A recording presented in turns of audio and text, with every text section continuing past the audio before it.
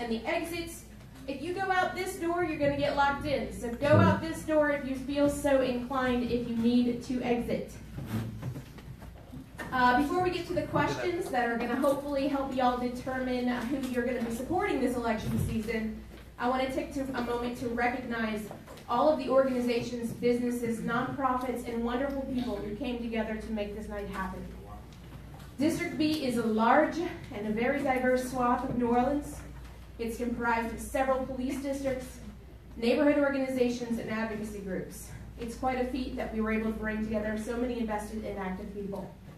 So as I call out your name or your organization, uh, please wave, say hello, and be recognized. Um, I haven't seen Commander here, but First District New Orleans Police Department, let's give it up. Avery's on Tulane. Carrollton Care,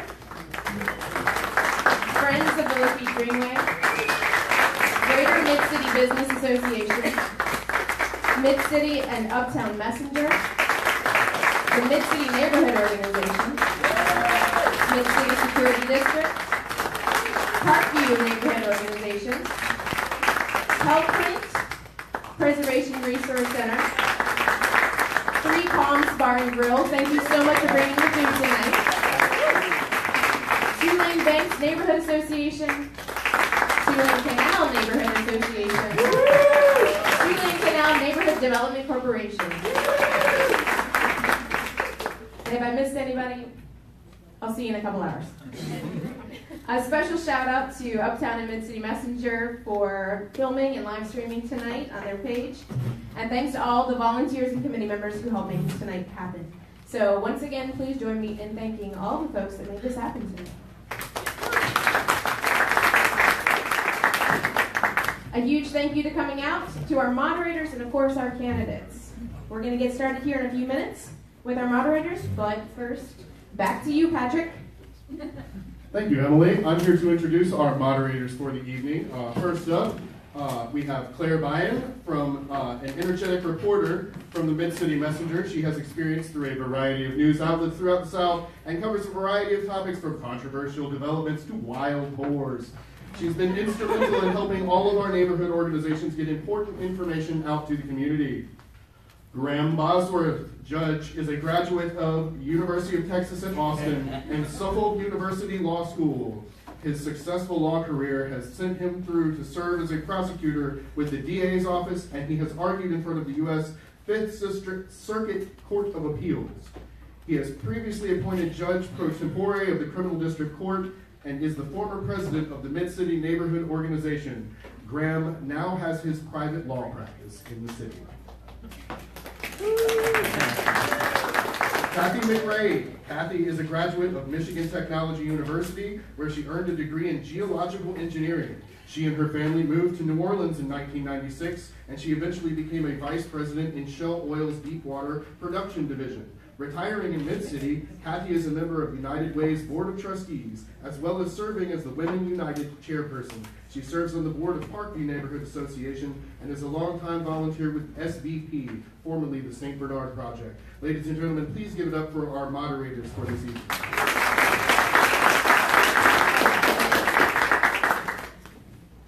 Graham, you can take it away. I'm taking it away? I mean, You need, to, you need your mic. well, everybody needs a mic. I say you want to try without the mic, and if anyone wants the mic, I'll pass it to them. Well, I can probably go If you without wanna, the if you wanna go and just pass it up. Sorry, y'all. All right, I'll try without the mic here. Candidates, thank you all for coming. Um, you will each be given one minute for introductions. Following that, a series of questions will be asked. All of our candidates will be provided, these- have been provided these uh, questions prior to the debate. The candidates will have one minute to respond to each question. If the responding candidate challenges the platform of another candidate within his or her answer, the challenged candidate will be allowed 30 seconds to respond. A timekeeper is present. He will hold up a red and yellow paddle. When the yellow paddle is raised, the candidate has 15 seconds remaining. When the red paddle is raised, the candidate is out of time. A bell will also ring to alert the candidate that the time has expired. If during the forum any moderator feels that a candidate has not answered a question adequately, he or she may follow up and allow a response not to exceed 30 seconds. We will ask as many questions as time permits, but as we near the end of the forum, we will each allow, or excuse me, we will allow each candidate one minute to close. Do all the candidates understand the rules?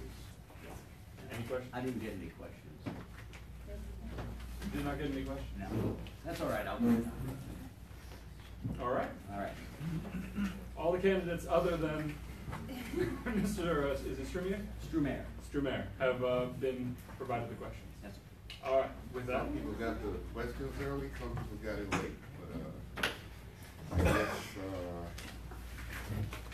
from going to one of this, uh, uh, forums, uh, one can, I guess, interpolate and extrapolate, in, the end, you know, okay. I'm disagreeing with Andre, All right. if that, if that, uh. All right, with that said, we will begin. Okay, so I have your first question. Um, starting with Mr. Banks, and we'll just go down the line, uh, first off. So your first question concerns the budget. Um, council candidates often talk about setting new priorities for city government, but the elevation of one budget, budgetary priority, sorry guys, I'll just start over. Council candidates often talk about setting new priorities for city government, but the elevation of one budgetary priority means dialing back somewhere else. Name one part of New Orleans government you think needs a higher priority and more funding, and name a part of New Orleans government you think is getting too many resources. Mr. Banks? Did you want us to go through and introduce ourselves Yeah. from Yes. that oh, first? Oh, did we not do that? we want to go back into the?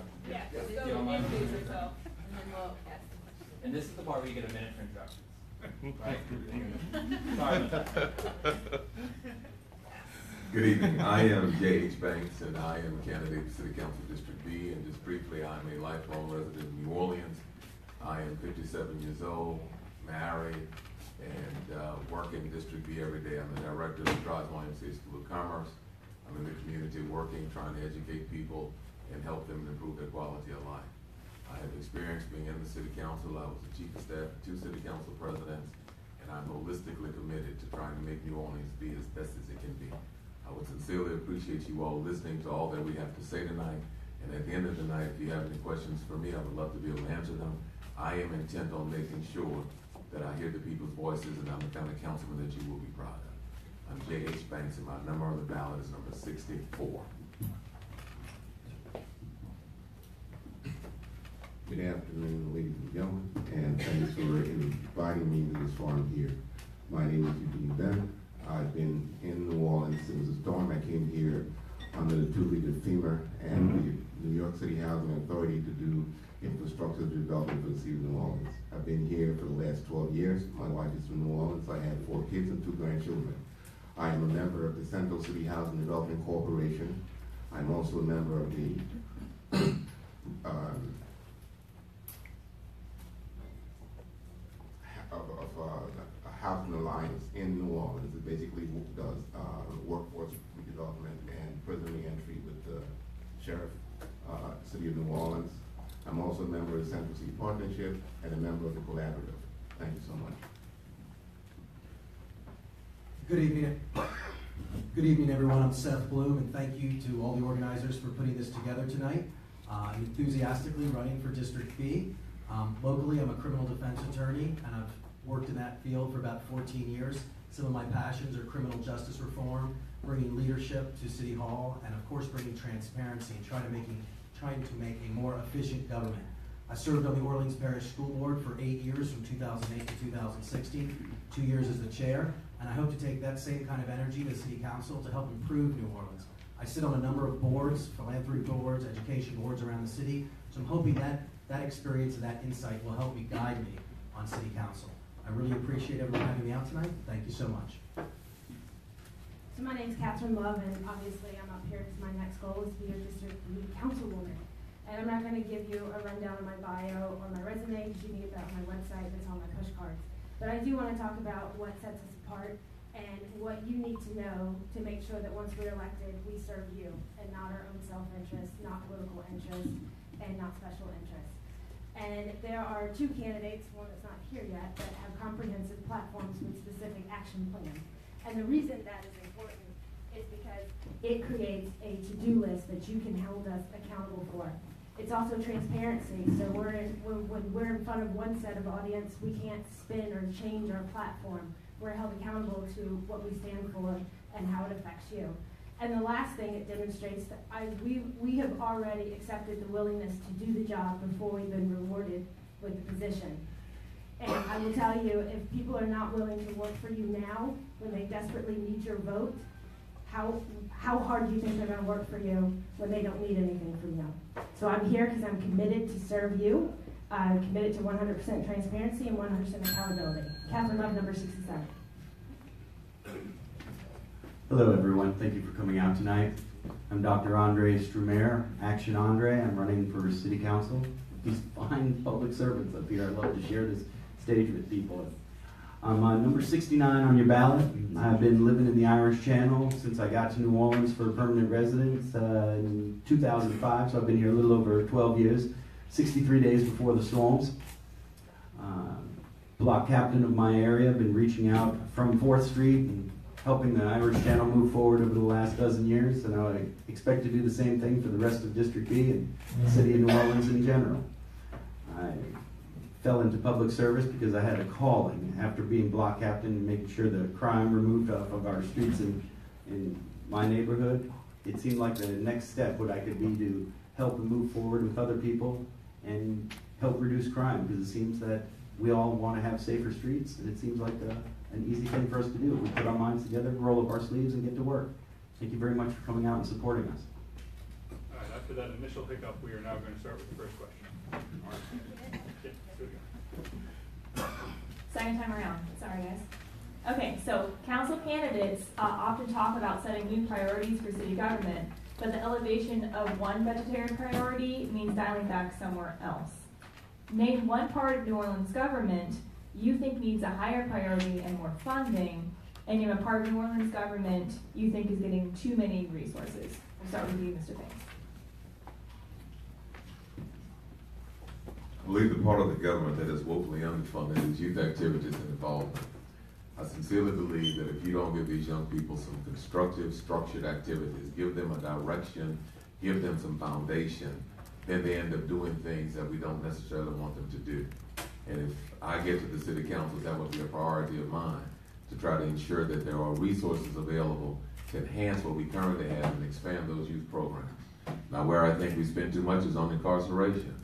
We need to be dealing with crime from the front end.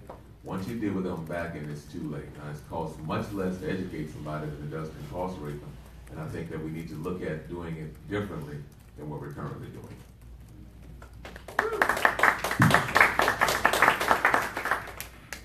I, I came here to do infrastructure development of the city. I am still doing that. Um, my hat is, uh, that I'm gonna throw in the field has also to do with, uh, programs that basically advance the cause of younger people and basically also affordable housing.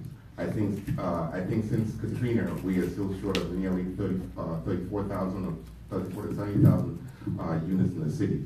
And I think that the idea of us not looking at tax dedications from the city, uh, what, which is really un, under the uh, auspices of the mayor, basically leaves us uh, underfunded with programs that are really necessary to basically put uh, vision forward for people in New Orleans who we're going to serve on the team. So I am very in much uh, with affordable housing and uh, programs that basically uh, foster the vision of youth. Thank you. I guess one of the tragedies of the city budget is that we have to dedicate so much money to public safety and still we're not getting the job done. So I guess in a perfect world, I'd like to see more dollars carved out to go towards things like early childhood development and actually preparing and preventing these people and individuals and students and young people from actually getting into the criminal justice system. Um, I've seen this many times across New Orleans and across the country. It's a, it's a terrible epidemic, and I think supporting early childhood development, making sure that when kids go to kindergarten, they have 2,500 to 3,000 word vocabularies versus 5, 700 word vocabularies, where they're always starting back. And I think programs like that and the long-term investment in things of that nature will actually make it possible that we can cut back on things like public safety. But right now, uh, public safety is still a very important thing. So, sorry, go ahead, clap. So I find this to be a difficult question to answer because there's such a lack of transparency. Do we really know how the money's being spent? Do we really know where our surpluses are? Are the funds really limited? Are they being misappropriated? So I think there needs to be more transparency so we can really dive in and reallocate resources where we're going to have the greatest impact.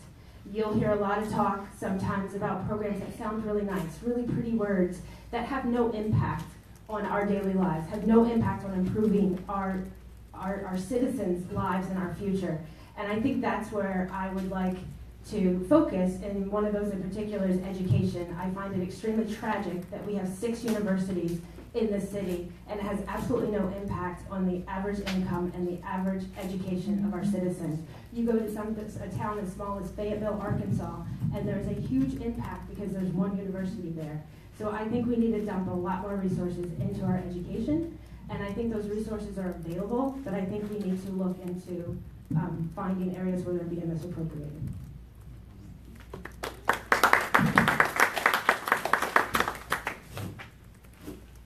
Currently, our jails and prisons take up too much of our money. We can't arrest our way out of this problem. If we could, we'd have the straight, safest streets in the world. We'd be living in Singapore. And we don't. And we don't have the worst people in the world. Because this is New Orleans. But we have the highest incarcerated per capita population in the world. And that's just not the way it's supposed to be.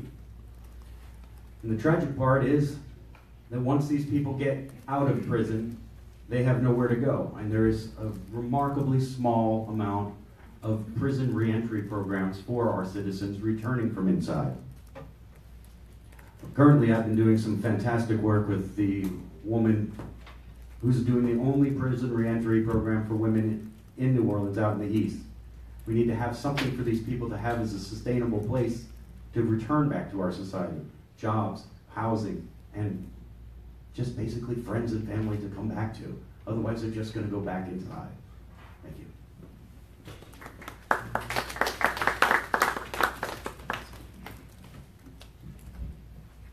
Okay, thank you. Um, the next question is going to be on homelessness. Despite many successful city initiatives over the last 48 years, homelessness is still a critical issue in New Orleans. For residents of District B, this issue is most visible underneath the Claiborne Overpass and the Pontchartrain Expressway. Between the UMC and VA hospitals and new development along Canal Street, the city will be pressured to do something about the homeless, which usually means have the NOPD harass them until they go somewhere else. How do you approach the issue of homelessness, and what can City Council do to address the root problems forcing people to live on our streets, to deliver services to help these individuals find treatment or shelter in positive ways, and to do so while respecting their human dignity and rights? And we're going to start with Mr. Ben, please. It is nice that you talk about human dignity and rights, because when anyone who is uh, basically dri- driven past the uh, eyesore that we have in New Orleans is really surprised that uh, close to 70% of those people actually are veterans who served their country. And on a daily basis, uh, they have to basically be afforded the uh, displeasure of having the New Orleans uh, Police Department basically ask them to move. Um, we need to be proactive in the city of New Orleans. We are a city of under half a million people. We're making a lot of money from tourism. Uh, we're dedicating taxes to, to, to other areas and avenues, but basically for, forgetting, forgetting people who basically are an integral part of our society. So what we need to do basically is that when we look at the budget, we have to start to look at those particular issues, how we dedicate money to resources to fund housing for people who are homeless, and basically create programs that are uh, resuscitated programs that allow those people basically to uh, resuscitate themselves back into industry. Thank you. Thank you. Homelessness is a multifaceted problem in New Orleans and all across the country, and I think you have to start with getting to the bottom line of it, and that's mental illness and drug addiction. So I think programs like the low barrier shelter that hopefully are going to happen at the old VA hospital, where we can triage these people, we can look at the root of the problem and see whether they have mental illness or whether they have drug addictions or whether they're actually committing a crime. Uh, I'm 100% behind treating people fairly and giving people dignity. We shouldn't just be sending people on one way bus tickets. We have to be better as a society and actually look to, to solve these problems. Uh, there's all sorts of progressive policies, like in programs they're doing in uh, Chicago right now, where they're actually taking these people from their low barrier shelters and integrating them uh, as city ambassadors. So there's all sorts of progressive ideas that we can look to other places. Homelessness is something that exists across the world, uh, and actually in other cities we have larger, larger homeless problems than we do. And it's not just an optics problem. Uh, it actually has an economic impact. I was talking to some people over the port of New Orleans a couple weeks ago. We lost two Disney cruises uh, because of that, and that's a huge economic impact to the city. Thank you. So I'm going to piggyback on Seth because I think understanding why they're on the streets is important. Many of them are there because of mental health issues. Some are escaping abuse. Others are transiently there because they've lost their home temporarily. Um, and this often gets confounded with drug abuse because they self-medicate. So re- replacing the services that have been taken away that address mental health, that address having a place to go when you're fleeing abusive homes or abusive situations, that provide services to keep these people off the street is step number one. There will always be a small portion of the population that is just not going to integrate, and then it's providing services that keep them safe on the streets and keep us safe on the streets and limits the economic impact by maintaining their dignity as well. So we do need the shelters, we do need progressive research uh, resources and, and, and programs that will help the ones that are able to integrate. And as a military brat, I mean, seeing veterans on the street, those are the ones that always get my money. So they go and they sacrifice their lives and they come back here and they have nothing. And I think it's important that we provide services for them specifically. All right, first of all, good evening. I apologize for being late. We had another event that we're coming from, so I'm just happy to be here. My name is Timothy David Ray. I'm number 68 in the ballot candidate for the City Council in District B as well. No stranger to MCNO. It's many of your events and your neighborhood meetings that you have most months. I'm usually there, so I'm happy to be here. Um, you know, I've been very vocal in the past about uh, homelessness. Uh, we have this pattern in our in our city of moving people from Duncan Plaza, from underneath our expressways or interstates, especially during peak tourist seasons or during special events. Um, but I believe we need more long-term solutions. One of those things is transient housing. Some cities have transitional housing that they uh, provide and, and, offer to homeless victims, people who, who fall victim to homelessness. It helps them to uh, have some place to live in the short term while um, they can have job training and, and, other sorts of educational skills and also receive health care. That's one aspect of it. The other, though, we have many homeless people who have mental health issues, and those have to be addressed separately. And I believe, um, I think we're out, out of time on that one. But there's also one thing I do want to add to that. There's a, there's a need for LGBTQ housing. Uh, there's a homelessness for that too. So.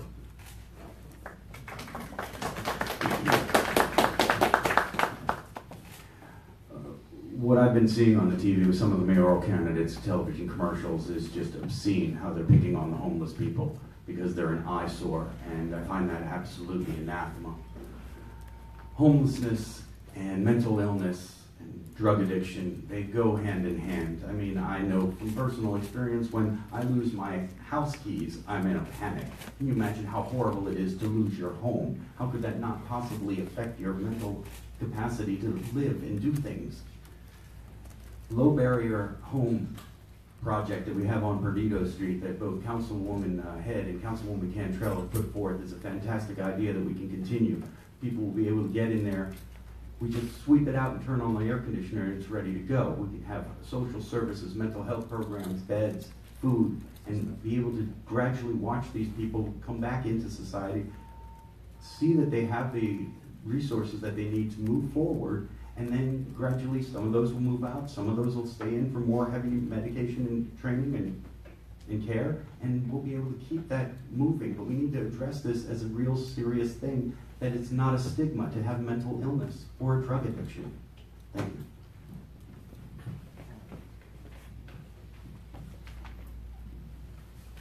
Homelessness is a multifaceted problem that does not have a simple solution.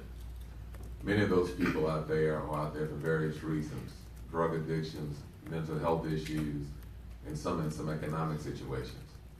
the low barrier shelter is a wonderful, wonderful, wonderful portion of the solution, but it's just a part of it. We've also got to make sure that we provide wraparound services to help with the abatement of the drug addictions, to help with the social steps that they need to reintegrate.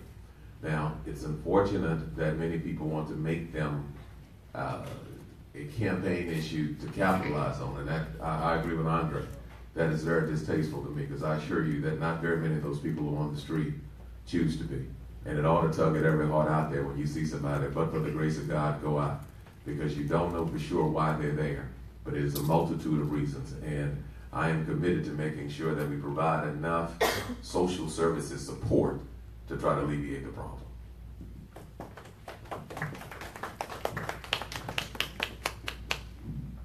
All right, our next question's on public safety. Several years ago, voters in Orleans Parish demanded the Orleans Parish Prison remain a smaller facility.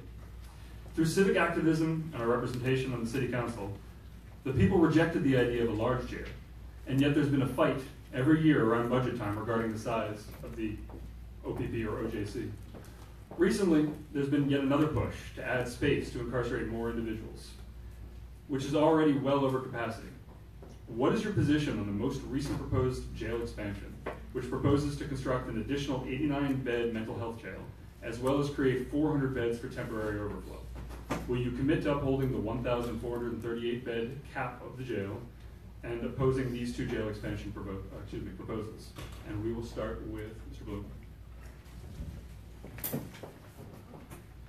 Uh, this is a topic that I'm intimately concerned about, being someone that criminal justice reform is so close to my heart. And I think jail size, you know, we got all this money and built this beautiful jail and, and now don't know what to do with it other than to fill it, I think is a major societal problem.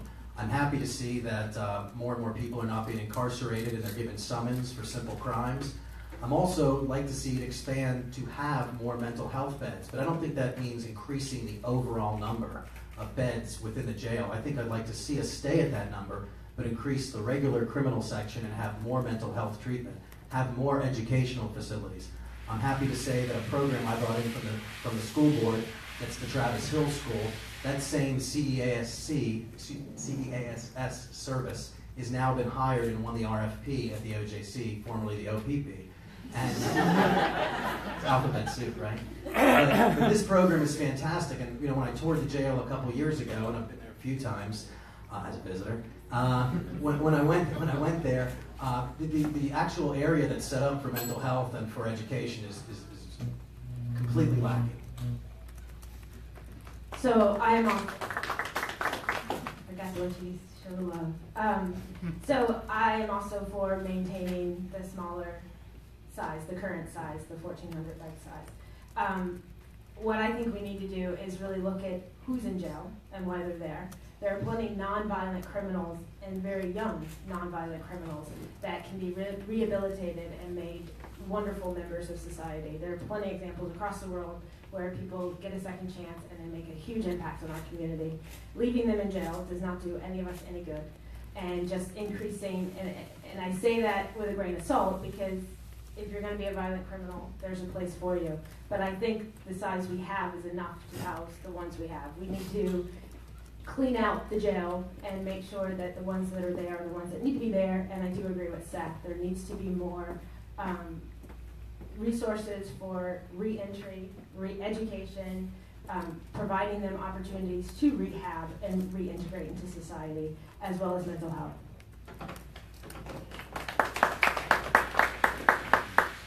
So my position on uh, the jail expansion and cap, post cap of beds. I'll give you more time. Give me my time. Are we back? Okay, good. Uh, so my, my position on this is kind of um, shaped by a few visits to the jail. I've done several tours of the facility and I've experienced different things uh, during all those tours. Um, I support reducing the size of our jail and doing that through a number of ways. Firstly, um, reclassifying petty crimes like minor drug possession. Uh, that should not be something that, that automatically lands you in jail. I think having too many traffic or parking tickets should not be something that lands you in jail. Uh, nor do I think we should keep the practices of holding people in jail just to uh, have longer hours to which to bill the state and, and those who pay for that. So I don't support that. But I um, have seen firsthand when an inmate tried to jump from a second floor of a t- or the second story of a tier, uh, and he's an inmate who's had mental health issues, and he suffered uh, those issues and was in a population and, and amongst other inmates who did not have mental health issues. I support advocates of mental health who say we need to have another facility in which to hold them in a place where those deputies can be trained and be in safer environments uh, with just. How much time do we get?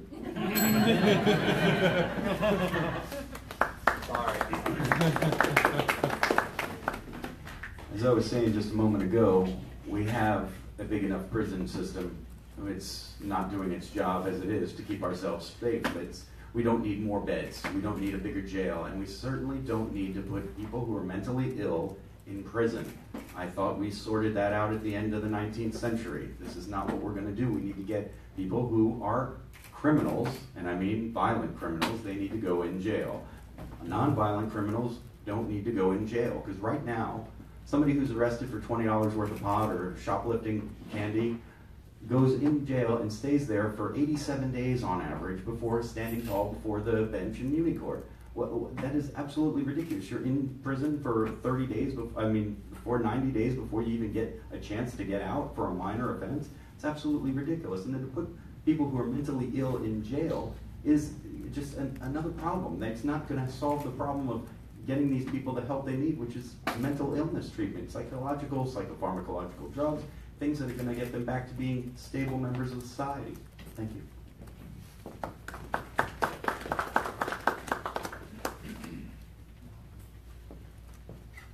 If you build it, they will come. So the bigger the jail, the more bodies have to be in it to fill it up. I don't support the expansion. What I do support is not having nonviolent criminals locked up, as Andre said, indefinitely for very minor offenses. Jails ought to be to get violent offenders off the street. People that are going to hurt one of us ought to be confined where they cannot do that. Now, as it relates to people who have mental health issues, I don't believe just because you have a mental health issue, you are a criminal and ought to be locked down with regular criminals. I don't know if there's enough room in the current facility or how it's configured, but there has to be a way to be able to separate a portion of the jail that's already there, segregate it for issue, in, in, inmates that have mental health issues. They don't need to be in general population, but they need to have the special care that they need. So no, I would not export an expansion, but a reallocation of what we currently have.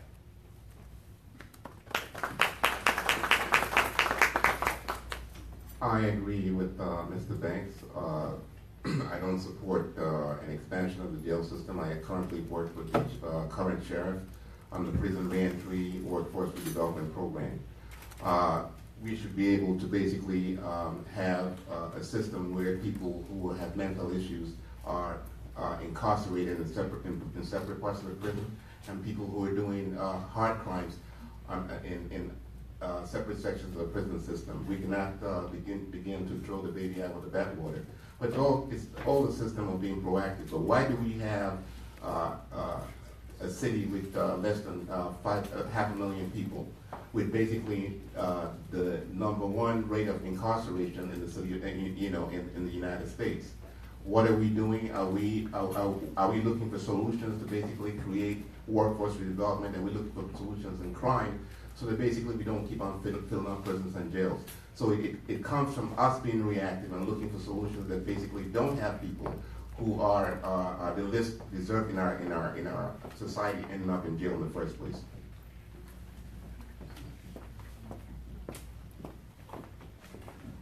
All right, I think what we heard was almost universal, universally that you all don't support an expansion, but I think the question that was presented was, would you publicly commit on the record to upholding the fourteen hundred, uh, thirty-eight bed size? And I think that's what we were trying to shoot for, and if we could just get yes or no questions across the board. Yes. Mr. Banks, Mr. Ben? Agreed. Mr. Bloom? Slut? Yes. No. Wait, what? I don't agree with expanding anything. Will you commit to upholding the fourteen thirty-eight size? Yes. I'm a, I'm, I'm a yes on that one also. We got you. Yes. Thanks. Okay, so we're gonna move on to infrastructure. This is a fun question uh, about sewage and water board, so buckle up. Um, so after years of fighting with FEMA over flood maps, uh, New Orleans finally got many areas moved to lower risk pools for flood insurance. Then on July 22nd and August 5th, the city was hammered with rain that flooded cars, homes, and businesses. District B ended up with a lot of that damage. While rain can overwhelm our capacity to move water, part of the reason flooding was so bad was that the sewage and water board pumping stations were not working the way they needed to be. What do you think is the most critical infrastructure issue facing the sewerage and water board? And what will you do about it if elected to city council? I get the loaded question right off the bat. So, again, this is a difficult question to answer because the president of the Sewage and Water Board, after eight years, still cannot tell us to the day what our current state of affairs are. And how can you fight for adequate FEMA funding? How can you fight for anything when you don't know what you're fighting for? So, and then on top of that, City Council has been removed from Sewage and Water Board. So we don't have enough oversight, we don't have enough control, and that needs to be replaced, in my opinion. What I would actually like to do is hire somebody who functions as the CEO and then have a board of directors. I'd like to change the criteria for some of the eligibility. We need to have people that have the expertise to function as experts for the sewage and water board. And it needs to be 100% transparent, 100% accountable. But the first thing we need to do is do a survey and figure out how bad things are. Because there's a lot of redundancy that has been lost over the years. Sewage and the systems always worked on redundancy. So if one turbine failed, we had backups. We don't have that anymore. So I think the most critical, sorry, I think the most critical issue facing the Sewage and Water Board right now is our drainage infrastructure.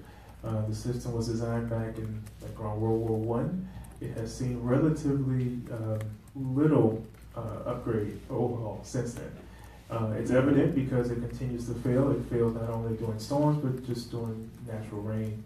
Uh, it fails even uh, just on, on isolated streets, not even there's a system that's over the city. Um, so what you have, if you have my, my push card, my uh, campaign policy information in there, bullet points about that. And back in March, I began talking about how we can fix it, what we can do about it on the council. One of those things is begin to lay the groundwork for overhauling our system. That means raising capital, raising some bonds to have money to overhaul our system. It's not something you can do in four years because it costs too much. I think we have to start it now. And back in March, when I began speaking about this, we had flooded twice in 10 days but it has to be something that's on the radar of the next council because the city is approaching 300 years. We should have a drainage system that's reflecting something similar to that. Right now, there is a lack of management at the Sewage and Water Board. There's nobody in charge. Not only is there nobody in charge, but there are 350 jobs that are empty. There are 350 people who could have work for the city with the jobs that are available. That's not even creating any new jobs, that's jobs that are empty right now. One of the problems is that the Sewage and Water Board and Public Works stopped letting the workers do overtime. So once 40 hours hit, they had to stop. If they were in the middle of something, they had to stop or get reprimanded for working after they were not going to get paid. And when that happens, the work doesn't get done. So the problem is that the city has to go out and hire private contractors to finish the work that come back and charge the city twice as much money. A person who starts at the sewage and water board starts at ten dollars an hour. After two years, it's at twelve. After three, after sixty, after fifteen years, the person's at sixteen dollars an hour. Now the person that's holding the stop and slow sign, that person makes twenty-five dollars an hour on his first day working for a private company.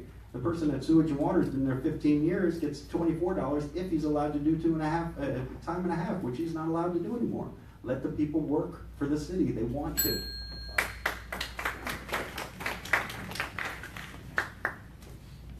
I am not an engineer, but it really doesn't take an engineer to know that a system that is as old as ours is going to have major problems. It's old, it's crumbling, and it needs to be fixed. But when we talk about what is the most major problem there, the most major problem there is that none of us know exactly what the major problem is. Now, had it not been for that flood in August, we still wouldn't know that those pumps were working because the people that were in charge never have they never mentioned that. So had it not become apparent with that just rain, not a hurricane, just rain, we would all be still in the dark. So the reality of it is before we even get to start digging up the streets, we need to actually get into the books to find out just what's there So before anything happens, we've got to put a mechanism in place to actually go and see what is in existence today. Now, again, we know that the system is old and has to be replaced, but before you even get to starting with the system, you got to replace the management and the management style to create public accountability and transparency.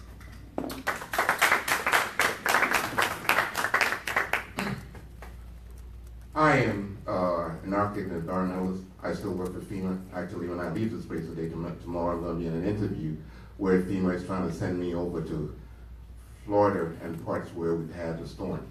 But I, this, this is just from my notes that made working for FEMA over the last 15 years.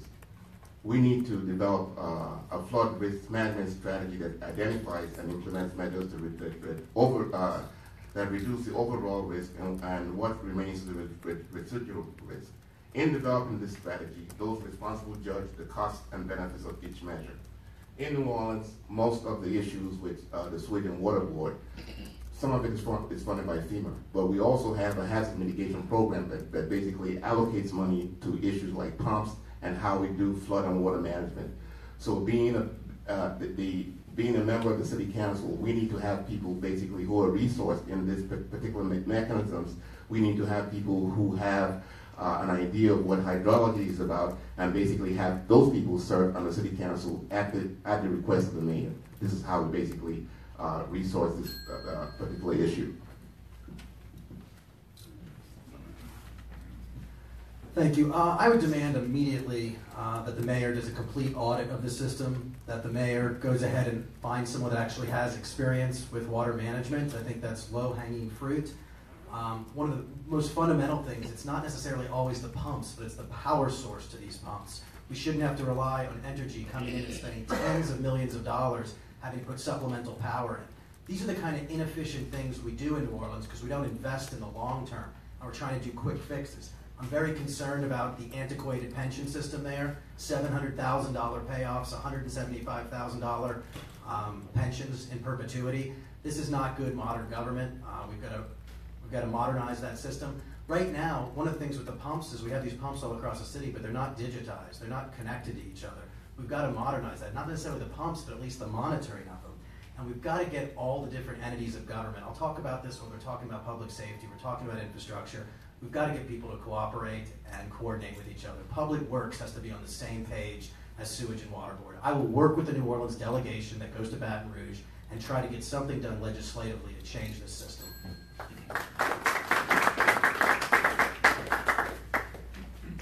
Uh, quick follow-up question. What is your favorite recipe for boiled tap water?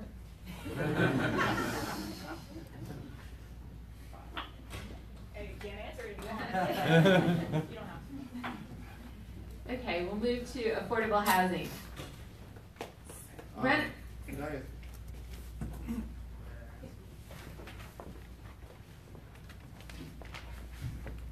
Could you, could you elucidate on the question, boiled tap water? I'm, I'm interested in the question, that's why I asked. Oh, thank you. It was a joke.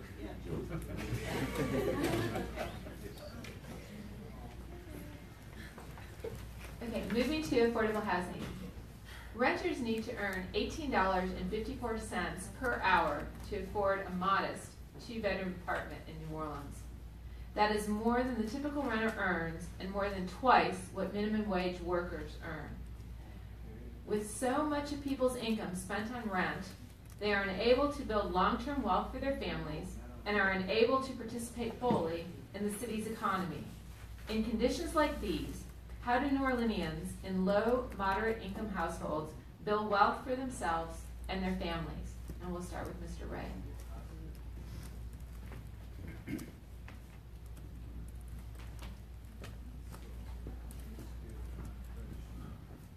That's a, a, a very nuanced uh, question there. It's hard to say how they can actually build wealth when this, the, the deck is stacked against them like that. Um, there are things that we can do from the city council that can help to alleviate that. Um, one is, you know, housing costs not only incorporates what you pay for rent or for your mortgage, also incorporates your utilities and your energy bill.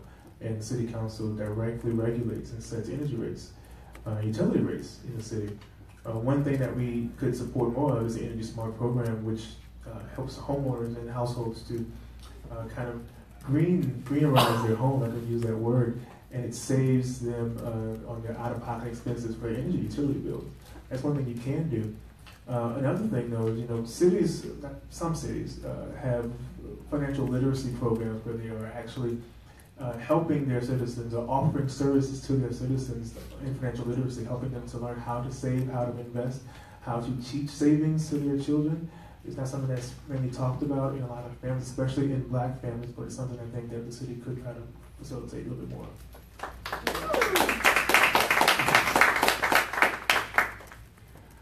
The way the system is set up right now, if you're poor, you're going to stay poor, and your kids are going to stay poor.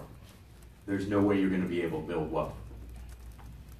Housing problems right now 65% of the people don't pay any kind of property tax. That falls back onto the people who own the houses and most of the people who rent the houses. 10% of the people pay those home pay those property taxes. Until that changes, that's going to be the way it's going to stay, and it's only getting worse. And the problem is, well, I've got a real big problem with Airbnb. I want them out of our city. Somehow they got in, and they got and as soon as Airbnb, the number of Airbnbs went up, housing housing availability went down, and the rentals also went up. That's they got us. That's anathema to me. Can't happen anymore. We need to remove the homestead exemptions completely across the board. People will be happy with it. I have a homestead exemption. I'll be willing to give up mine because we need to have more property taxes come in so it'll make more affordable housing available for the people of the city of New Orleans.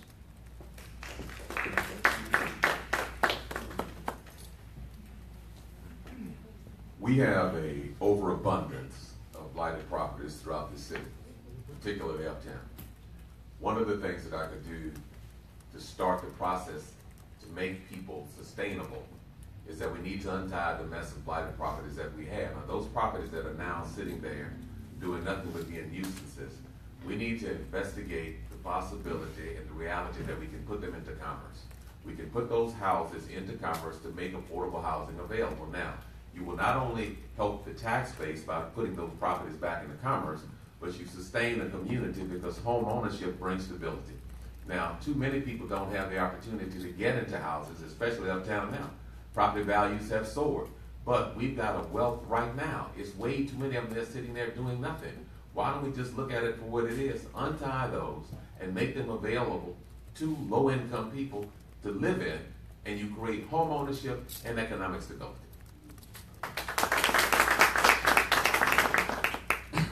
You don't create home, you, you do not create home ownership in New Orleans by basically levying this nuisance tax on people. Uh, before I came here, there was a program that we worked in the, that we did in New York, which was which was called a sweat equity program. This concerns uh, um, housing when you're talking about blighting housing, where people basically could actually go to the city uh, of New York, who has set up a revolving loan program to borrow money to fix those properties, and it stayed in it for five years, they were forgiven the loans, and basically the city was able to basically recoup, recoup a lot of the uh, property taxes that way. Another thing that we uh, uh, uh, have to look at is that when we're talking about affordable housing, it really has to be affordable, and we have to look at smart mixed-use housing. So the developers that come in the community, they're getting community development block grants, but also we have to remember that those, those are the taxpayers' money that they're actually using to build these properties.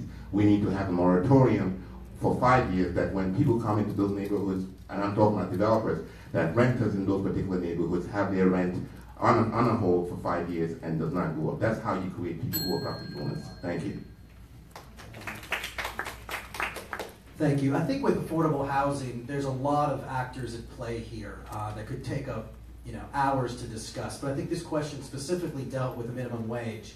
And I know in this community, in Mid City, I'm talking about, not all of District B, affordable housing is a huge issue now. I know short term rentals affected, but I think specifically with a minimum wage increase is so necessary. I've lobbied in Baton Rouge for various educational things, being on the OPSB, whether it's early childhood development and so forth. I will lobby that I think it's embarrassing that we're pegged at a federal standard of seven and a quarter. I'm for a significant incremental raise of the minimum wage Cost of living is soaring, and at the same time, our jobs are not keeping up with it. So I think we need to really dig in and look at how we can increase pay and demand that our businesses do that, incentivize that our businesses are spending more money on our people. And I know in certain areas this has become a huge problem. I've seen the polls, I've seen the numbers, and I've canvassed and talked to people in this area and all across District B and all across the city. We've got to find a solution. There's so many issues at play here, but certainly increasing one's individual income is very key to this.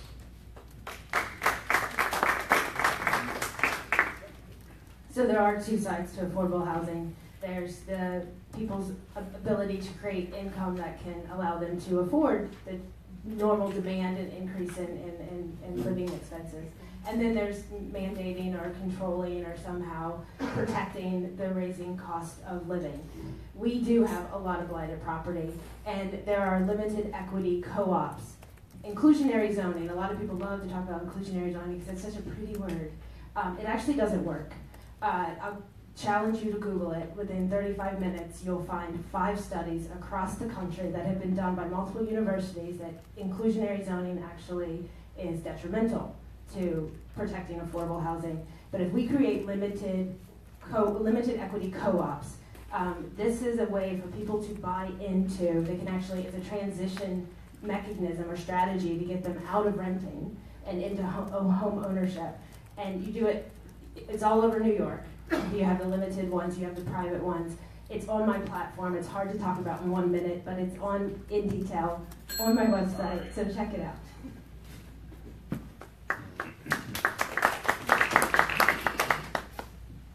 All right, in light of some of the questions, I'm actually going to jump off script and go to one of the other uh, questions that were presented to you all uh, earlier. I think I'm going to paraphrase it a little bit. You all have talked about getting uh, blighted properties back into commerce. In light of existing constitutional property uh, right issues, in light of restrictions on the seizure of public or private property for public purposes, what would you actually do in order to get these blighted properties back into commerce?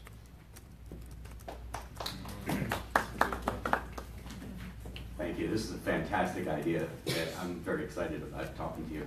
There's about 30,000 blighted properties in the city of New Orleans. Let's talk about that. We can use these blighted properties as vocational training centers for children 12, 13, 14 and get them to work under um, journeymen, master craftsmen. They'll learn every aspect of the flooring to the ceiling, carpentry, electrical, plumbing, tile work. Then after they fix these houses up, they'll have vocational training that'll follow them for the rest of their lives because not everyone wants to go to college, but everyone should have an equal chance at some sort of training for jobs.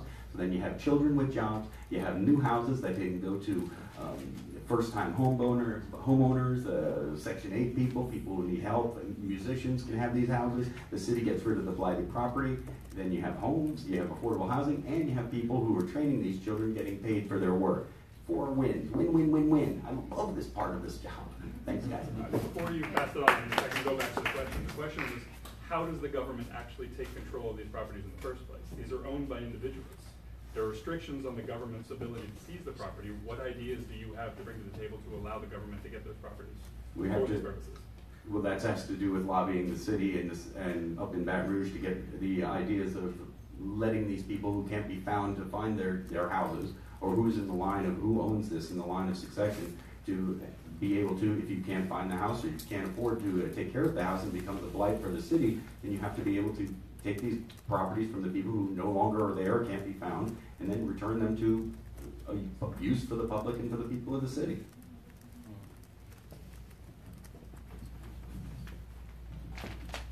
There are actually two sides to the problem issue because there are properties that are already under the city's control that have already been adjudicated. Now, I'm not in favor of just taking people's houses who don't have the ability to fix them. What I would propose to do is use CDBG funds to float loans to those homeowners that let them renovate them. What happens now is we end up taxing and feeing people out of their houses because they cannot maintain them, they can't keep them up, and you're putting those, well, I'm going to call them nuisance fines and fees on them to the point where they exceed the value of the house because we fine them so much.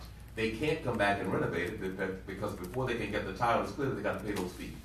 And at the end of the day, you, you're just chasing your tail because they'll never get the money to be able to pay the fees and renovate it. So as long as they aren't doing anything with it, it's sitting there. So let's let's let's come at it from the beginning. Let's help them by getting the resources in place, and you can use CDBG money as the backstop for that to help them renovate it. Now, the ones that are already owned by the city, let's put them back into commerce. Let's take them away from the agencies that have them and get them into renters that want to become homeowners and help them to renovate them. Can I get that question again? We talked about, sorry, blighted properties. Yes. The question is, the government doesn't have carte blanche ability to just seize private property. What programs and what methods would you use in order to help get these blighted properties back into commerce? Well, at the moment, we have, um, I think we have NORA and we have, um, some other nonprofit agencies that basically are getting a lot of private properties, uh, and are basically not putting them to use. This is why, uh, earlier on, I talked about the sweat equity program that we can in- initiate in the city to basically, uh, create a, a fund in the city that we, you know, we have, we have a lot of developers that are going after low-income housing tax credits. We have a lot of developers going after Hope Six grants. We have a lot of developers going after, uh, community development block grants. We can put that in a pool and have people who basically really wanna go back and resuscitate those properties, go into that pool, are able to get funds to fix those properties, and if we forgive those loans after five years, as long as the people stay on those properties, what we're actually doing is creating a tax base for the city. Those properties are, are basically resuscitated, we are eliminating blight, blight, and that is a program that we should really, uh, look at seriously. It's called being proactive. Thank you. Well, blighted property is certainly a problem, I'm an advocate for getting it back into the tax base. However, it can be a complicated issue. You know, at the end of the day, here we're trying to preserve the authenticity of our neighborhood. So with blighted, blighted properties, I have to be cognizant of my preservation friends and look at them. I mean, are these projects or these homes that we can rehabilitate? Are there ones that we can di- disassemble and rehabilitate, or at the worst cost, can we demolish them? And I guess as far as, you know, you know the, the worst offenders in this is absentee landlords. So I guess, Graham, to answer your question, it's about code enforcement. It's about some of the laws that we have on the books already and making sure, especially absentee landlords, if you live in another city and you're not keeping up with your property, then you should lose your property. You should be fined. You should be pushed into a governmental system that actually takes actions and pushes this along. So those are some of the philosophies I have, but I, I think we don't do very good, a good job in code enforcement across the city in many things. So I'm really looking forward to having to push those issues. I'd like to set up more programs for succession when people, heirs, don't know who owns the property. That's a big thing. And there's already some programs that are doing that, but I'd like to see that expanded a bit. So I met with code, code, code enforcement, and I mean they're understaffed, and the legal re- bureaucracy that goes through to actually figure out who owns a property, even enforce the codes. It's it's it's absurd and ridiculous. But there has to be, and, I- and you can correct me if I'm wrong because you're the attorney. Mm-hmm. I think at some point in time there there is a time frame in which it's considered abandoned. Is that not correct? I You don't know. Years. Okay. there- I, it's a- I it's a think there is a time frame in long which Period of time. yeah. And even when it is abandoned, there's still restrictions on the Right. ability to transfer that title to other individuals, which is what led to the question. Right. So th- at some point in time, I know with abandoned animals, it's a little easier. But obviously, there needs to be a system where once a property is considered abandoned, we have ability, if we can't do it into a government, maybe we can do it into a citizens co-op or a neighborhood association, give somebody else an opportunity to take over the proper property that's not necessarily the government. How exactly that would work out, we have to sit down and figure out the legal. Code enforcement deals with it on a daily basis. And real quick, I'm gonna be fast. As far as the ones owned by city council, um, one of the most impactful ways is to actually invest in those homeowners and help them renovate their property. Um, so there, there are a few things that that happen already. There are a few processes that are already in place. One is the sheriff sale. That's a mechanism by which certain properties can be adjudicated, um, and people can, you know, either own or acquire, I guess, the, the tax rights to by paying back these property taxes on properties, or in some cases, they can actually acquire properties or be in possession of properties um, through title. Another way, though, is uh, what they call demolition by neglect. It's a kind of a legal maneuver that involves code enforcement and HDLC kind of working kind of hand in hand there. It's, as, as Graham said, it's, it's a pretty tedious process. I, I clerked in civil court for a while. Um, many of the processes there are, are pretty long, but this um, is a mechanism that we have to, if there are uh, probably uh, unoccupied blighted properties, you can through code enforcement, through fines and fees, once those things kind of build up, there, there are ways that you can then make, uh, I guess, some strides to get them from the property owners. Louisiana, your property is a very big part of our, our, our civil code, and it's not really that easy to just take someone's property, even if it is blighted. But code enforcement is one way that you can um, attach fines and fees to it. Okay, great. We're gonna move on a little bit to uh, affordable housing. So, uh, a new Enterprise Community Partners Housing NOLA and GNOF poll indicates housing is the second leading issue uh, voters want candidates to address in this election. Do you have any experience with New Orleans' lack of affordable housing, and how has that experience impacted your perspective on the affordability issue? I think we're back. Well, we'll back.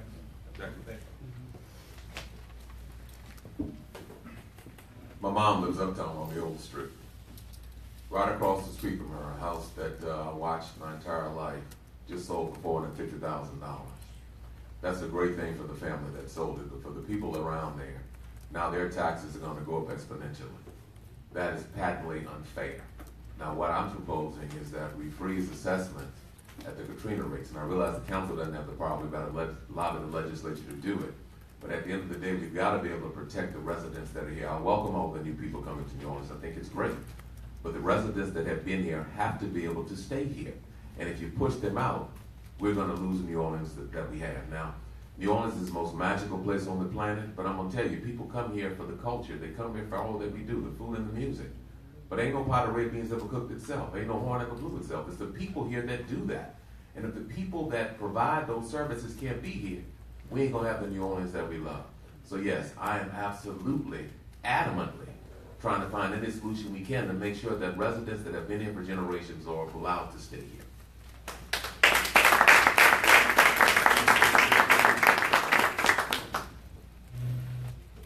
As an architect, the, uh, I, the idea of me coming to New Orleans is actually, uh, looking at, uh, infrastructure development, I have been here for twelve years and I've built probably over four hundred units.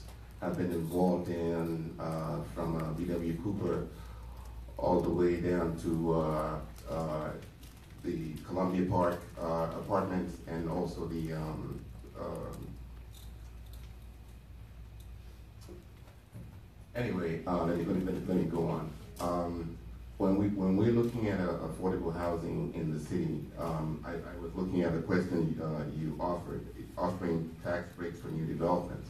But what we have seen in New Orleans is that a lot of developers are coming here, they're getting those tax breaks.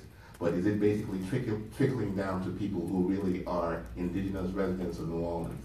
We have to have community benefit agreements. The community has to be at the table when new affordable housing is done. So that affordable housing is affordable and people who basically have basically resourced and basically put energies into developing those communities are not gentrified out of those communities. We need to do that. Thank you so much. Um, all of these issues we talk about tonight kind of all are connected, and, and certainly it's a concern to me where employees of mine and friends of mine are talking about rents that they paid 10 years ago are now tripled. Um, I've talked to a lot of people in my neighborhood that said, you know, I bought this house in 1975 for $30,000, and uh, now my taxes have gone up four, four or five fold since Katrina. So I think we need to look at, you know, tax abatements, senior uh, abatements, and doing all sorts of things to keep uh, people safe here and keep people in housing. I think one of the biggest concerns I have, and it connects with the transportation issue, is that our labor force is being pushed out of uh, District B, which is really the economic engine of the city, other than the French Quarter. I mean, I think that's something that needs to be talked about, is that the Central Business District, the Warehouse District, Superdome, the Convention Center, these are all in District Bs, and pushing our labor force out almost exclusively because of affordable housing issue is very troubling. And then compiled with that, the fact that we have such a, you know, meager public transportation system is really putting a lot of people in really serious uh, positions. I mean, District C is not part of ours, but I listen to people that are friends of mine that are in Algiers and having to take 90 minute rides to get to work in the CBD. It's a problem. So I think we're all affected by affordable housing for exactly what Seth said, whether you're personally affected or whether it's the people you depend on or you know your workforce that's affected, it all affects us. And we have an ex- extremely lenient home chart, home rule charter.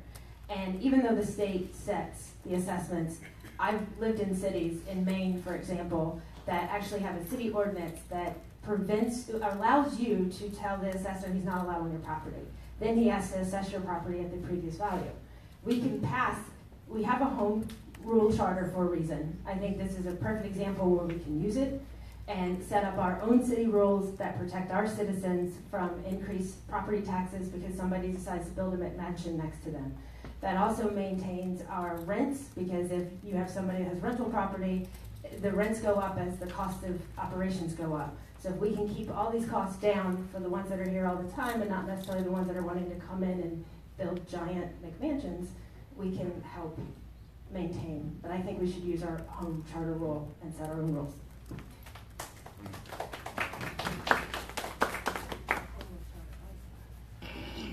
So I, I live in my family home, uh, the home that I grew up in, and it's in Broadmoor. And I can tell you that if we didn't own our home before Katrina, we wouldn't be able to afford to live there now.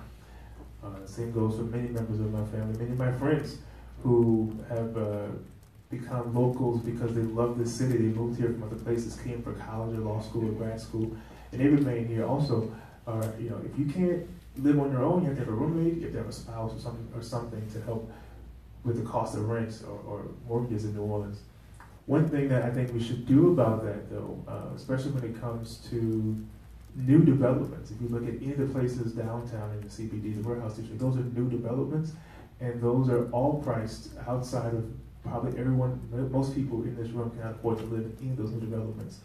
One uh, proposed that's, that's for, for the current council, which they haven't acted on, is the smart housing mix ordinance which would require new developments to reserve a portion of their units and dedicate those at affordable rates, which I support.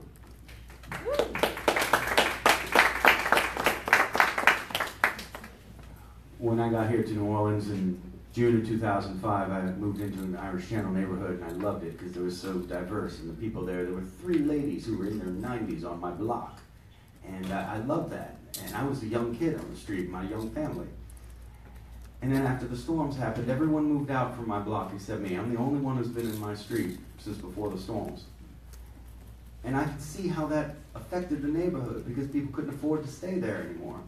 And on the positive side, you know, people came in and they redid all the houses and now they're living in nice houses and fantastic and everyone has a beautiful street now. But the negative part is that the people who were the backbone that drew me to live there, to my wife and my child to stay in this house, those people are gone and they've been replaced by good people. But the point is, the community that brought me there is gone. I want to reduce those property taxes to, like, like Mr. Banks said, to what we had before Katrina, to let the people who still have their homes be able to maintain their homes. Because that is what the integral part was that drew me to this neighborhood in the first place. Thank you.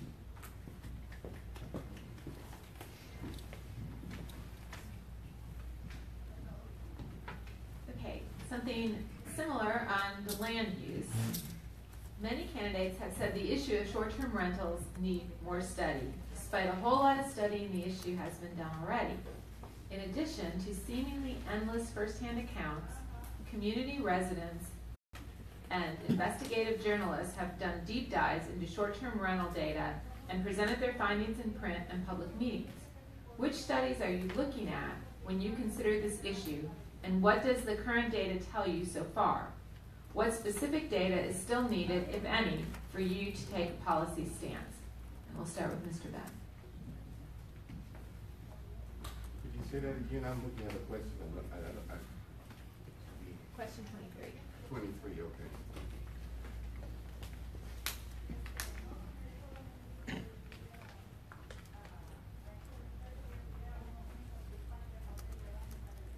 It's really, it's re- it's really your stance, it's your stance on short-term rental, and do you need additional data to come up with your stance on short-term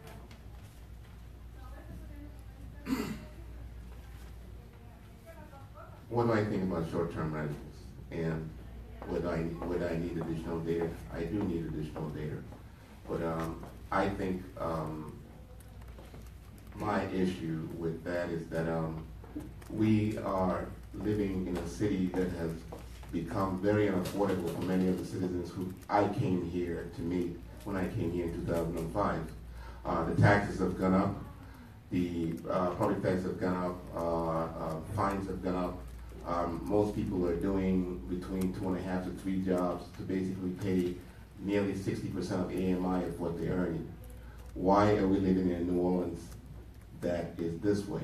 Why is the city council not getting uh, uh, involved in making sure that we have a moratorium on how much landlords can can can basically um, squeeze out of renters for the amount of space that they're renting? We we have to look at these issues. I've not looked at this question very well, but uh, I'm sure that a lot of people who sit in this room agree with me that this particular part of the world is getting very unaffordable.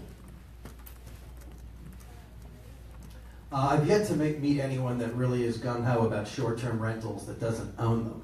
Um, I've said this about other things with affordable housing, but I think it deteriorates the uh, the authenticity of our neighborhoods. I think we have to be very careful with Airbnbs and short terms. Having said that, I don't think New Orleans is different than any other city in this respect. So I think Airbnb is here to stay, and I wouldn't vote or support something that would completely ban it. Having said that, I'd like to see a universal policy.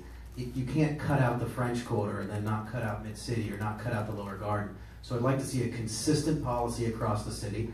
And as far as the data goes, I'd like to continue to monitor it and see how neighborhoods feel about it. Um, I've walked around these neighborhoods and I've seen the big permits in front. And someone said to me, you know, this used to be a great neighborhood for, for people, for affordable housing, for mid-level housing, and now it's, you know, it's become a, um, a boarding house.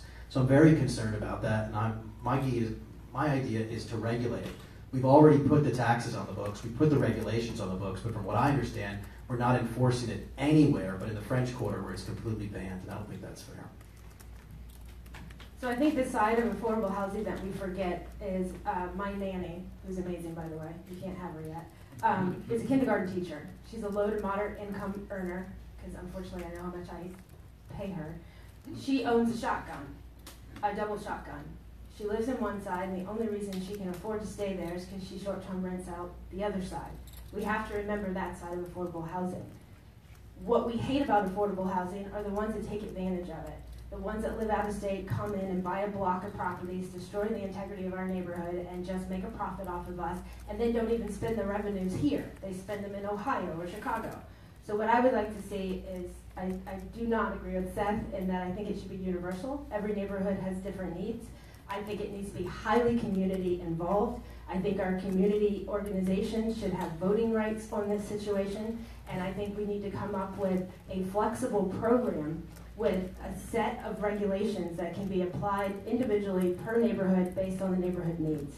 Um, everything from require, okay, it's on my website, you can look it up. Um, I don't need to see any more studies about uh, short-term rentals.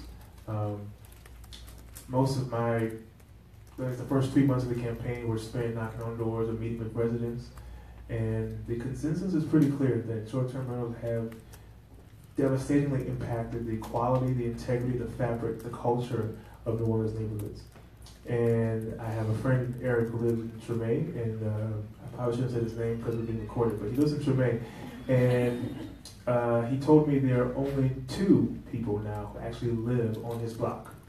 So if you could imagine being on a block where there are only two occupied houses, or two habitually or regularly occupied houses, that's not a neighborhood. That's not somewhere you really want to move and want to live. Um, I found consensus on amending and banning whole home rentals. That's something I can say today I would support on the council. I would help to reauthor or re, uh, restructure the short-term rental ordinance to ban whole home rentals. Um, there can be exceptions perhaps for homestead exemptions, but that's a little more nuanced. But as Catherine said, my website has much more detail about it. I think the idea of short-term rental is basically what Catherine said, is people being able to rent out part of their homes temporarily or something like that. But then it's been abused, and it has been remarkably affordable, or rather, I'm sorry, remarkably fiscally uh, beneficial for people who don't live here, as opposed to the people who are going to make a little extra money on big weekends. And uh, I am against the expansion of the Airbnb system specifically because it does negatively impact the communities in which they function. That being said, I would much rather these, uh, these short-term rentals be used for people who are living here in, in Broadmoor, in the, Irish Channel, places like that that we live, rather than people, Bob and Mary coming down from Atlanta for a weekend and spending their money here and then taking it off. Now, I'm, I, I think short-term rental needs to be much more strictly enforced and re-looked, looked at again, because it doesn't, it doesn't benefit the people of the community.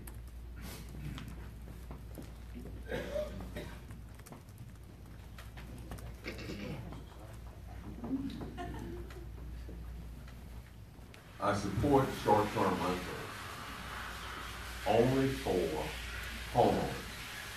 I think that the law needs to be rewritten. I think that the permit to have a short-term rental ought to be tied to a homestead exemption. Now, if Ms. Jones needs to rent out her room to help her ends meet, I'm okay with that. I am vehemently opposed to people creating many hotels throughout our city. That is what's happening. Now, conceptually, Airbnb and short-term rentals, whatever you want to call them, they're not going anywhere.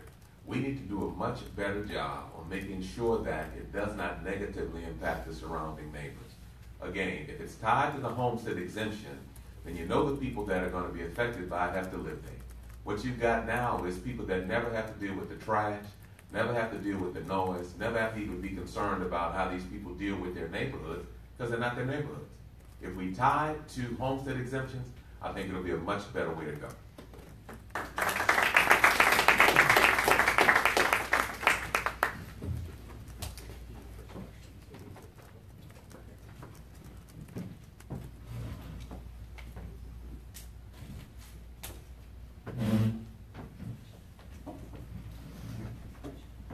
Our next question goes back to public safety.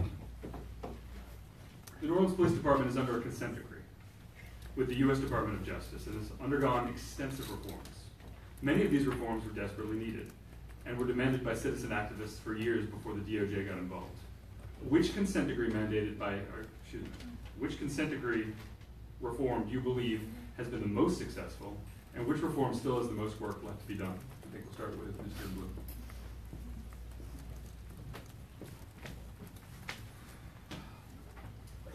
having the inspector general in an organization, whether it's municipal, a traffic court, or whether it's the OPSB, is not popular. It's extremely burdensome to these organizations. Having said that, we've had such a lack of transparency and dysfunction that I'm a supporter of the inspector general and the consent decree within a time period.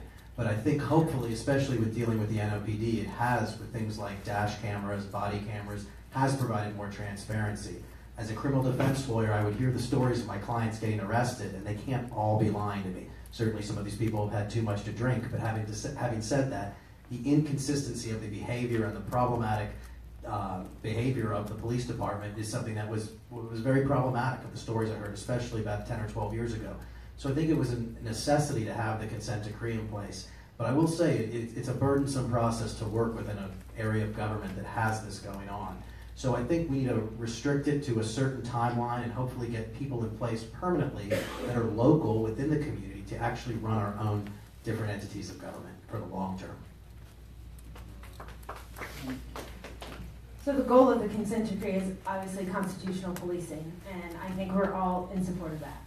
Um, the accountability and transparency across the board from the consent decree is think is what we wanted.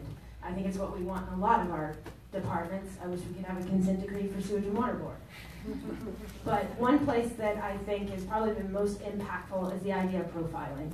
You watch all these criminal shows, and profiling has a purpose and a place. You profile somebody based on behaviors that make you um, realize who they would be and where you would find them, but not based on skin color, you, and not based on height, and not based on weight, and not based on eye color.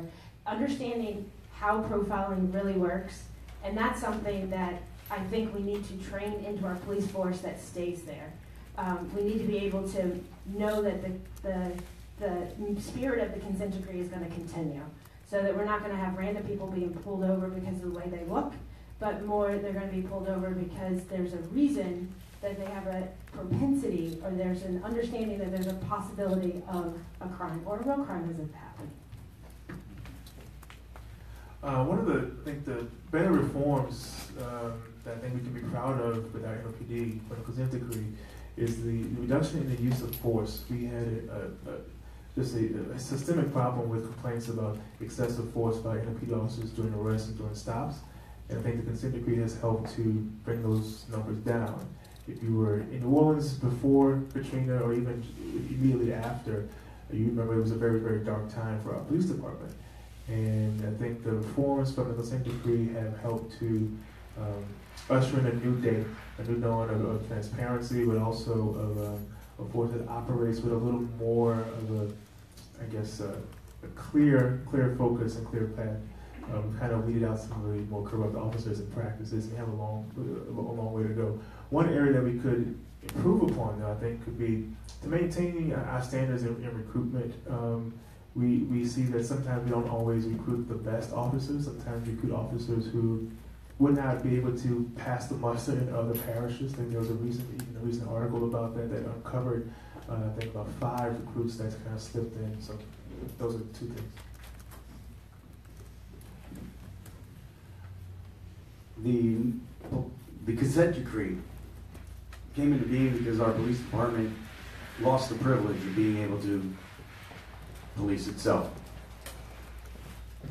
One of the things that I think is a fantastic addition to that is the body cameras and the microphones in the cars and on the police officers themselves.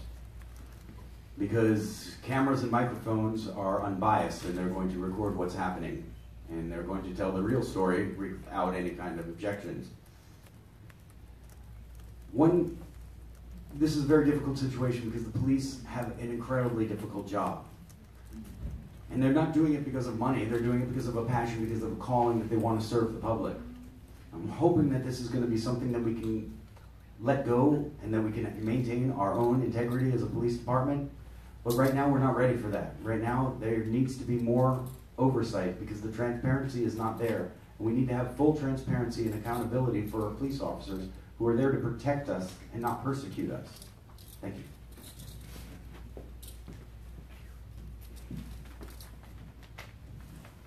I think that the part of the decree that has worked best is community policing.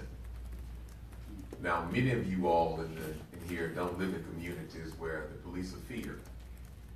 But in the community that I live in, that was a real thing. We had children that were afraid of the police. Now, they're afraid of the bad guys, but they're afraid of the police also. And what has happened with the community policing component is put police in positions where you have allayed some of that fear that the community had. I work at the Dryades YMCA. I work with kids every day.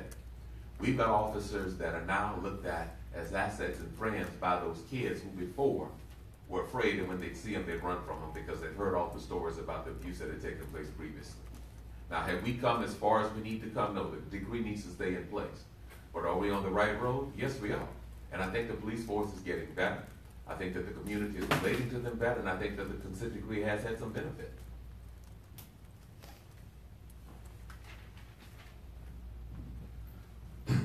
My understanding of the consent decree that is, is, that it was crafted to promote constitutional policing by calling to clear, uh, by calling clear policies that give officers meaningful guidance. And looking at that, I was thinking because I live uh, in the same uh, neighborhood or in the same area as Jay lives, I looked at uh, training.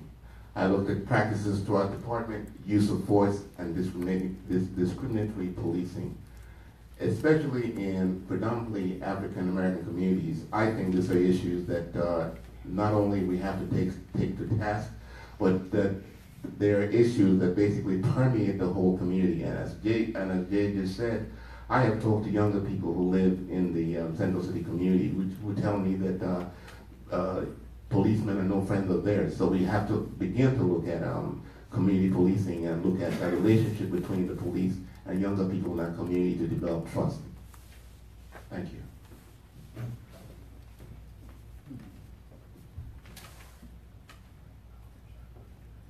Okay, we're just gonna jump back to land use regarding the master plan.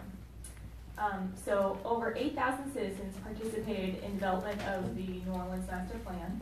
And the master plan is supposed to have the force of law and in helping direct future development in the city. Yet we often see council approving land use decisions that are inconsistent with the master plan, uh, sometimes over uh, citizen objections.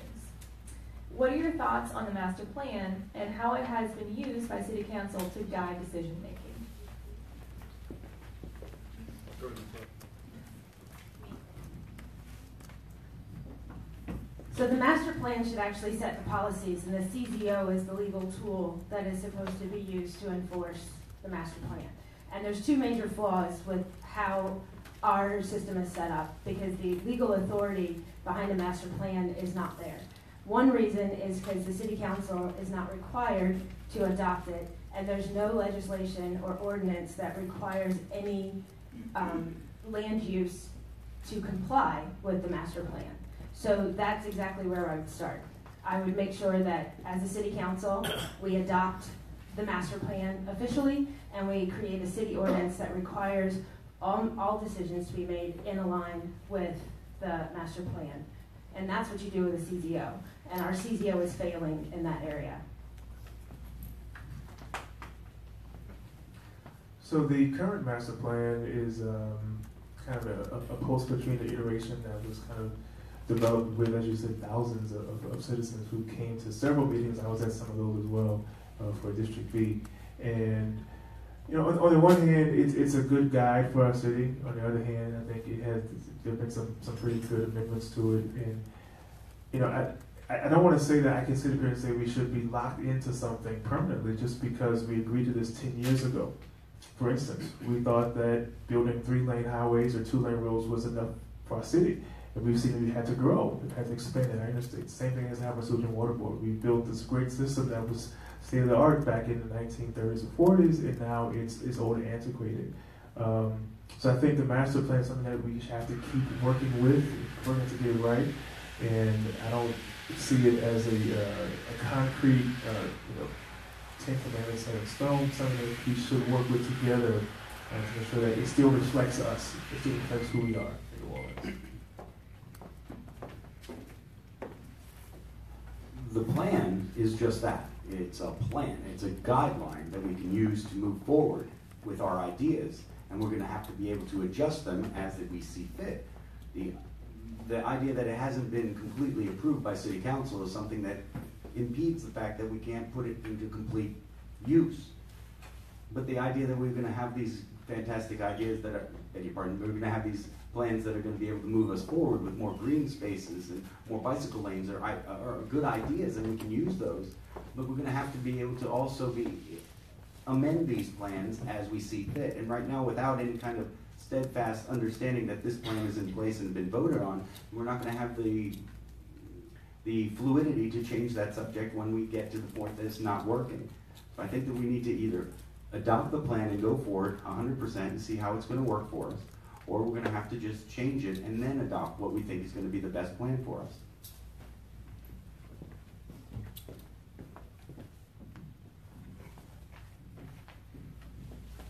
I support the concept of the master plan, but it has to come with the caveat that what's right today may not be right ten years from now. So at the end of the day, we have to have the flexibility in order to be able to adjust it. So while its, its intentions were all very, very good, and at the time when it's adopted, they may be all right, but who knows three or four years from now if that model is still in place. So while I would hope that we would act like it has the force of law, we have to be realistic enough to know that there's going to come a time when it has to be altered. Nothing today is the same way as it was ten years ago. So while it again, it may be good right now, but I would not tell you that I would absolutely say everything in it has to be adhered to to the letter, because the circumstances may change and there may be a new nuance that has come into play that wasn't there when it was written. You could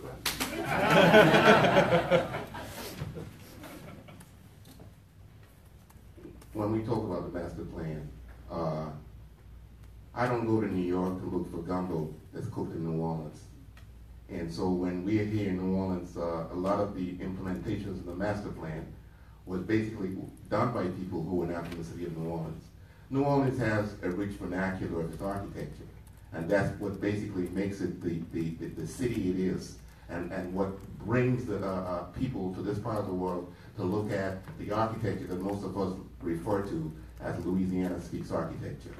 The, the, the, the dichotomy of the architecture, the, na- the different neighborhoods that form New Orleans, the planned unit development that was done by architects in the city, land planners in the city, before everybody else came here with the, with the idea that basically served the basis for architecture in Miami that did not work for people in, in New Orleans is still what we're suffering from. We have to go back to the drawing board and have an architecture that basically suffices for the people who live in this city and people who be, begin to understand that neighborhoods we live in are not alien neighborhoods.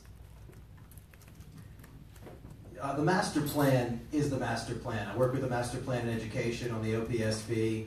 Um, you know, a lot of energy, especially after Katrina, was put into this. Experts, time, vigorous public debate. So I think it's important that we really follow the master plan. Of course, there needs to be some degree of fluidity and some degree of flexibility to comport with changes in neighborhood associations. And as your city council person, I will always listen to those things. But we put so much energy and time into the master plan that we can't always do this in government. We make the long-term sacrifices the right way up front. They may be hard, they may not appease everyone, but we have to follow things that we ultimately think are going to have a beneficial goal. So I- I'm going to be hesitant, and I'm going to need to hear compelling reasons to change the master plan because so much energy did go into that a few years ago. And I have a thirty second rebuttal. Go for it. Sure. So I just want to say that, you know, our constitution is not a guideline, it's not, it's, it's law. And of course, there's an amendment system. It's already in place, it's in place in Baton Rouge, it's in place with every city with a master plan. Of course, it has the ability to be flexible and um, be changed. And like Seth said, there's a rigorous system around that. But if we don't enforce it with law now, it has no power, it has no validity. It's a waste of our time and a waste of our resources. And it doesn't preserve our history. It's hard to make a constitutional amendment. So, since we're doing rebuttals now, uh, in this- in this- in, in this thirty seconds, uh, in this very building, we house our Orleans Public Defenders. If you go a few, a few floors up, you will see they have the most deplorable offices of any um, entity I've ever been to. And right now, they're trying to move across the street to Tulane and the old Israel Augustine School, which was the Samuel J. Peters School before that. That's going to require amending the zoning, amending plans. So before we just say, you know, that we can't do this because it's, it's our guide, understand that this very building, the very offices that it housed in here, um, will need amendments to have better space.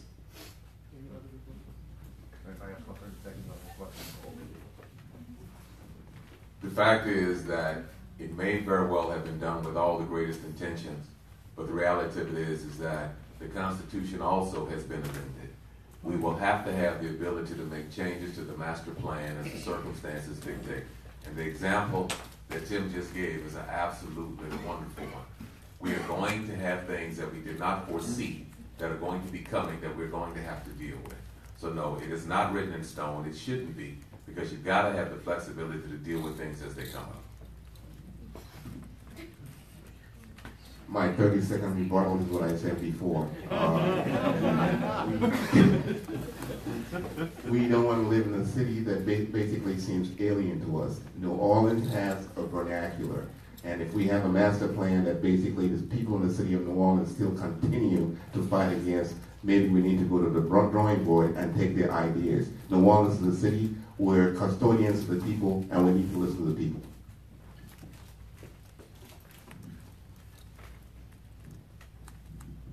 Okay, this question is on infrastructure and transportation.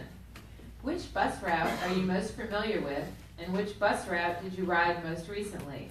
Did you find RTA service acceptable? And we'll start with Mr. Ray. I guess I'm most familiar with a few bus routes because I would uh, drive the ride the bus to, to school when I was in high school, elementary school, part, part, partly middle school, and uh, I even would use the streetcar going to law school because it was we had two hour zones around Loyola. Um, so the last time I rode the bus, I think, was a few months ago, going to a transit meeting uh, at the World War II Museum, and it was interesting because. Um, as a kid, I just, I guess we talked and we enjoyed the ride. We couldn't get there when we got there. But when you actually have to be somewhere on time, uh, the buses are not as efficient. I use them all the time in Germany. I actually have a friend here who I met in Germany who now lives in New Orleans for a little while. Um, the German system is very, very, very different. It's very, very efficient. People use it. Rely on it for work. They rely on it for, you know, doctor's visits, you know, school, all that. Um, our system here could be a lot better with connecting people to jobs, fast, have more efficient routes. And one of the things I propose are kind of more express routes that get people to and from uh, hotspot areas of, of uh, higher travel.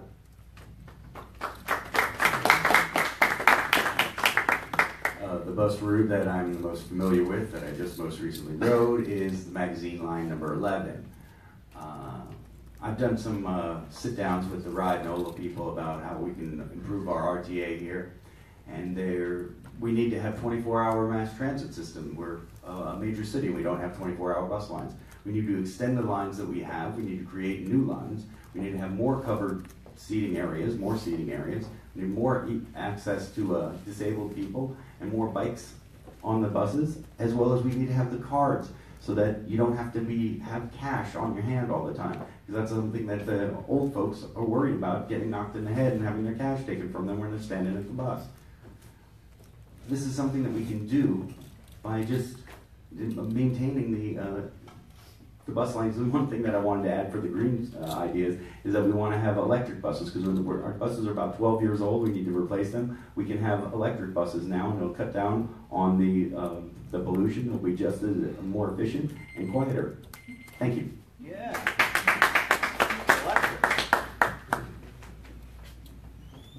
My last public transit experience was not a bus, it was a streetcar. We had some friends here who were visiting and we rode the streetcar down to Canal Street and then a woman in at Palace Cafe.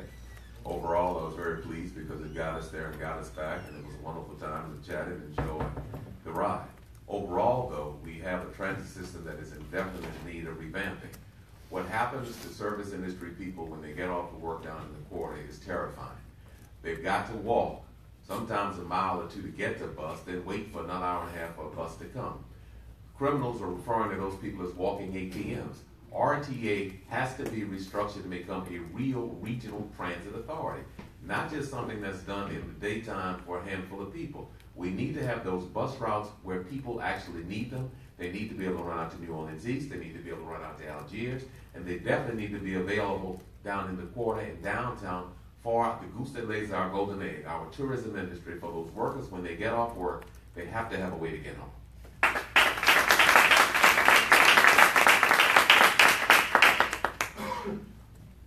I recently went to an interview with uh, with Ride uh, Ride New Orleans, and I was told this: uh, we have only recovered 42% of our pre-Katrina weekly bus trips, leaving fewer options for residents who can afford it. While the average New Orleans can can get to 89% of the region's jobs in 30 minutes by car, they can only reach 11% of those jobs in the same time period via transit. In a city with high unemployment and poverty rates, and many residents without reliable access to a vehicle, that's unacceptable if we're serious about increasing access to economic opportunity. Now, we are also a city that basically lives on a lot of tourism. It, I think it's, it's uh, rather strange that we don't even have uh, a, a, a, line, a, a monorail from basically the middle of uh, the city of New Orleans to the airport. And so in, in, in, on a weekday, if you're challenged to try to go to the airport, it takes you almost two and a half hours whereas on a weekend it takes you 15 minutes to get to the same airport. These are issues that we have to basically begin to invest a lot of time in.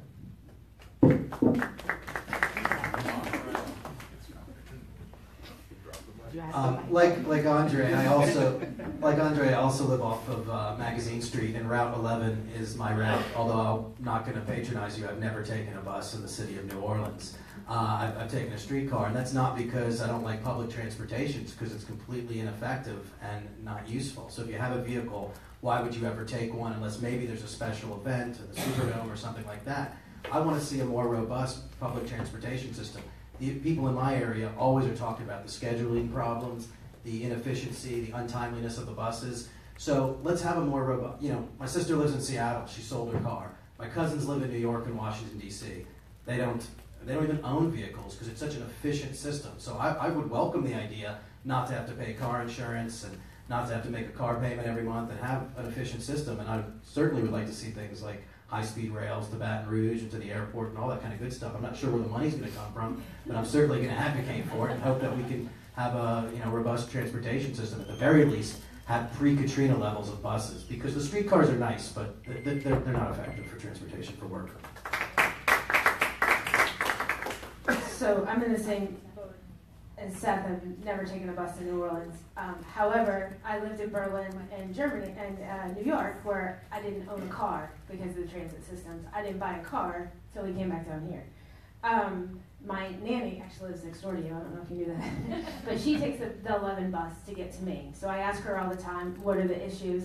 She's been, ironically, quite pleased with them. But she takes one bus, seven, eight blocks.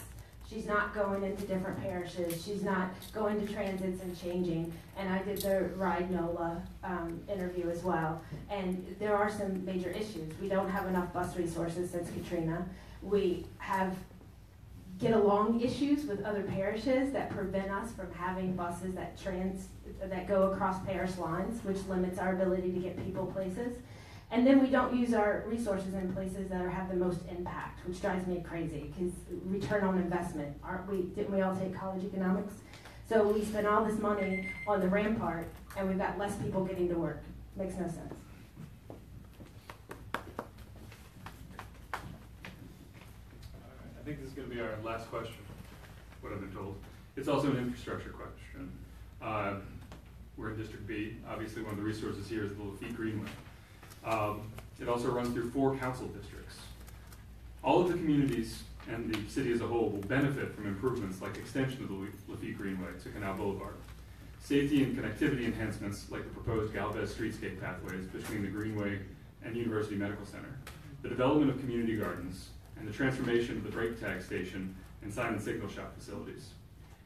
If elected, how will each of you make the, make sure the council finds the resources and makes these priorities in the Lafitte Greenway Master Plan happen? How will you work with other council members to protect and build District B's assets like the Lafitte Greenway? And I think we are starting with Mr. Ray.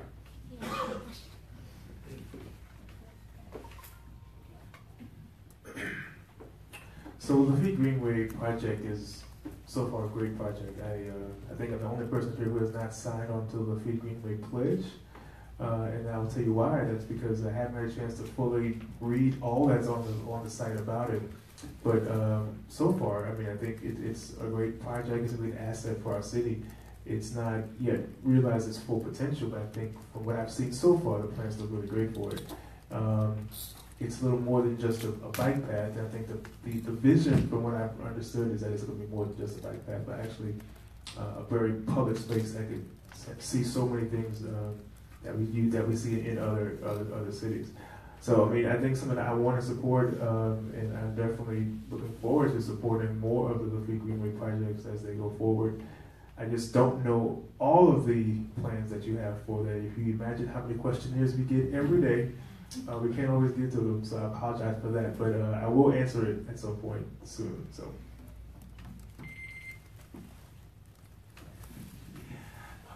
Well, I, I, I love the fact that it's got green in the title of it, and that's one of the things that made me read it immediately. Is I've I've been a big supporter of uh, alternative energies. Before I got into this full time, I was selling solar panels.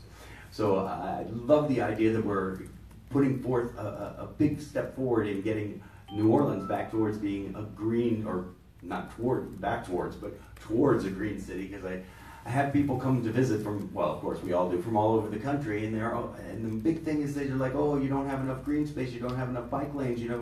And I, I'm, very excited that we're going to be pushing this forward because I can tell the people from Seattle, shut up. because is what we're doing here.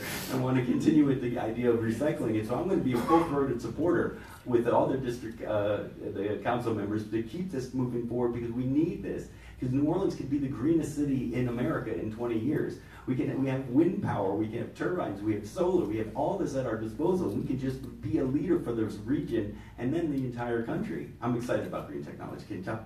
All right.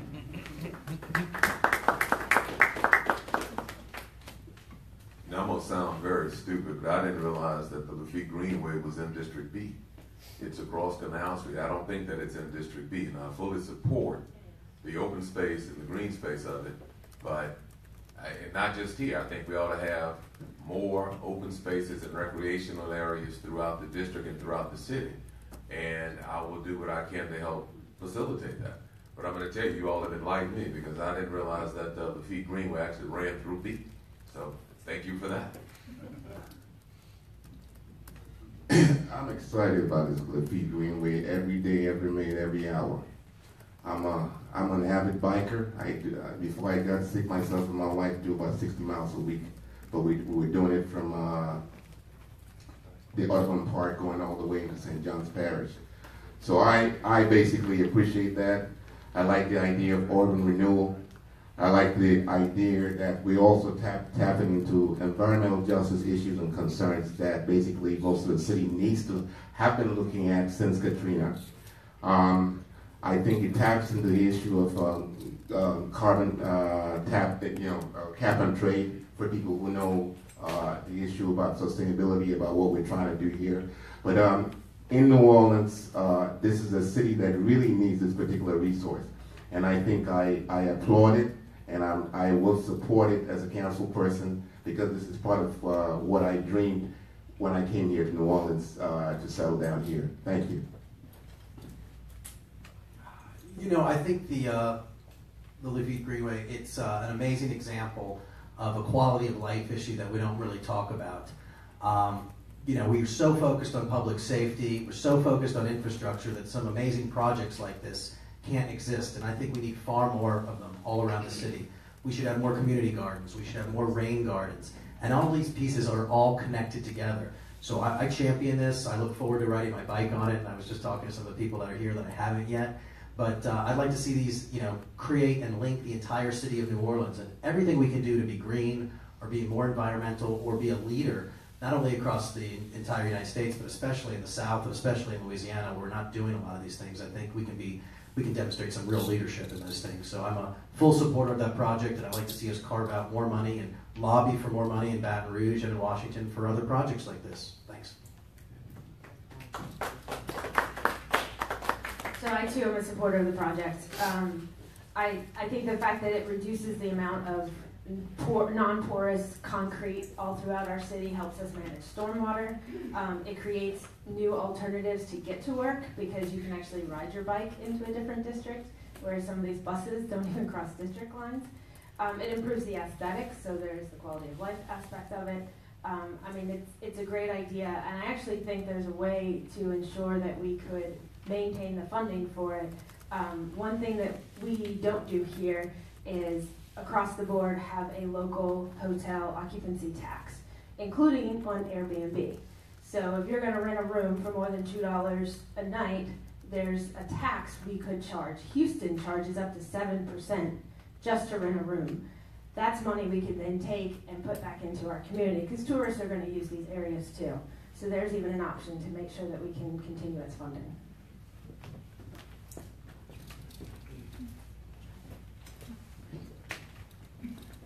I don't think we've actually gotten through half of the questions that were generated by MCNO for the event, but we are out of time. So what we're going to do now is give each of you the opportunity to give a one-minute close. We're going to start on the right end and actually work our way backwards to the left and go the opposite direction that we did to, to start. So, Thanks everyone for staying out tonight and giving us, giving me the opportunity to come out and here and speak to y'all. Learning so much about the city during this campaign has been the greatest thrill of my life. I love going out and meeting people. I love listening to the stories. I love the idea of bridging these gaps as a communication person. I love the idea of being part of New Orleans and hearing the stories. One thing that I've learned that I want to share with you is that everyone has a story and not everyone has a voice. So I get to listen to these stories and I get to lend their stories my voice. And that is a privilege that I've enjoyed so much. My name is Dr. Andre Strumer. I'm Action Andre. I'm running for City Council District B. My number is 69. I'm so grassroots, I'm weeds. And I'm, yeah. Thank you. And I just want to say it's a privilege to sit up here with these, these absolutely fine people.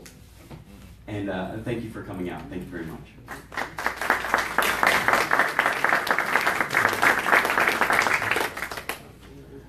Thank you all for staying. I want to thank uh, Kathy and Claire and Graham and, and, and Justin, who's that phone with the, the mic and one of the most polite timekeepers, always apologizing when he hits the, the bell for us. Um, if you see us smiling now, it's because this is our last forum together, and we are thrilled that it's kind of behind us. Um, as you all decide, you know, seriously on, on who you want to represent you in the city council, after you take a look at not just the information you've been given uh, from my campaign, but also what's on my website, what others are saying about me, about my work, about my work ethic, about my policies, about the uh, time and attention I spend to details that are going to affect all of our lives, our residents, our, our businesses. Um, I was endorsed by Gambit not because I had the most money or because I had the, the strongest machine behind me, but because they said they appreciate the depth and the policies and the detail that I, that I spend. Which is why I hadn't signed Lafitte Greenway but I haven't read it. I'm not going to sign. I don't know what's in it or what it says. And that's important, I think, to distinguish yourself as a person who's hardworking, who's true, who's honest, and who's sincere. So thank you for having me, and I'm uh, happy that this is our, our last forum. And Mid City, please go and vote because you have pretty low turnout numbers, but change that, all right? So um, I'm Catherine Love again, and I would like to piggyback on what he said because sitting through some of my encounters with City Council, the one thing that stood out to me and frustrates me more than anything is when they come up with ideas or they spend our tax money and promote these programs, and it takes you 35 minutes on Google to find out they're not effective, um, or they don't work, or sometimes they're illegal.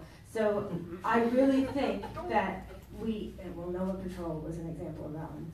Um, but we need to have people that are willing to do the due diligence. They're willing to communicate with you in real time with clear, accurate information so that you are empowered as a citizen. You may not always hear what you want to hear, but it's important to hear what you need to know so that you can make the decisions that impact your community. And that's the leader and the city council member I want to be. A lot of people talk about their previous uh, um, political experience, but political experience does not make a leader. Understand that. I just wanted to thank everyone for having us out tonight. Um, I think this is where the rubber meets the pavement as far as politics go and real retail politics. So I applaud all of you and all of your organizations for putting this together tonight so as we can have a robust debate about uh, politics and the future of Mid-City and District B and overall the city of New Orleans. So this is not easy to do on a nightly basis, and we've done a lot of these, especially ones that are two plus hours long. Uh, but you know, mid-city people want to stay informed, and I understand that. I've uh, been battling a cold for a week, and from what I understand, this is what happens when you're uh, on a camp on the campaign trail. So I apologize tonight if my voice was a little weak, but uh, I can just tell you that I will work as hard as I can and be absolutely as fair as I can as a city council person. I'll work tirelessly to add leadership and transportation, tra- transparency, uh, and transportation to New Orleans it, it, needs all of those things. So I, I'm committed to roll up my sleeves and do everything I can and really get your input. Because when people talk about what are District B issues, I say, well, what are New Orleans issues? We have everything in District B, so it's a really unique district. So thank you so much for having me out tonight, and uh, hopefully uh, I'll get your support.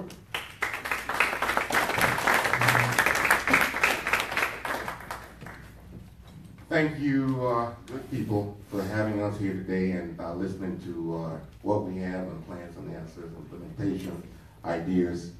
Um, I came to this city 12 years ago, like I said, to do infrastructural development. I'm trained as an architect and as an environmentalist. You can find that on my website.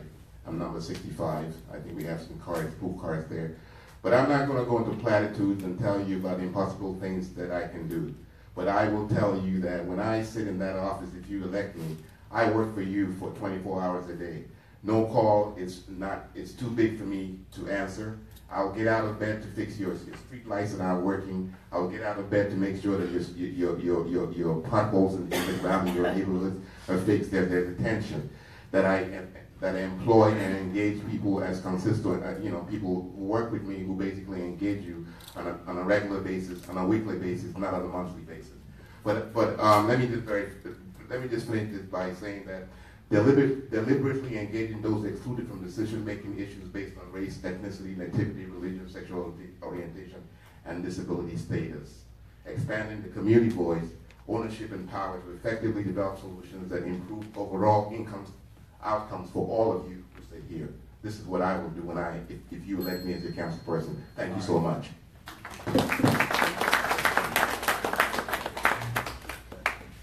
Good evening again and thank you. My name is Jay H. Banks and I want to applaud you all for sitting through this. I really appreciate you taking the time.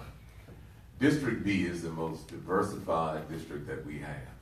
You've got black, you've got white, you've got young, you've got old, you've got rich, you've got poor. We are a microcosm of everything here in New Orleans.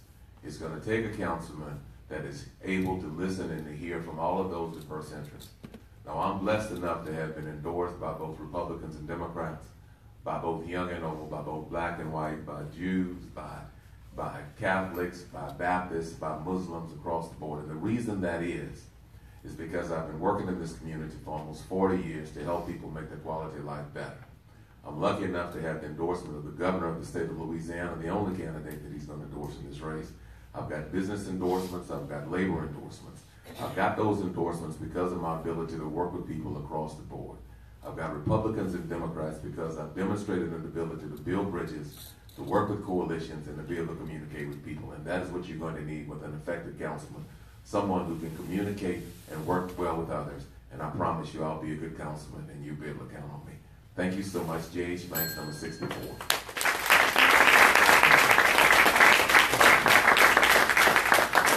Thank you so much for this evening. As you can tell, pretty prompt. Uh, it's almost 8 o'clock. Um, again, one more round of applause for our evening.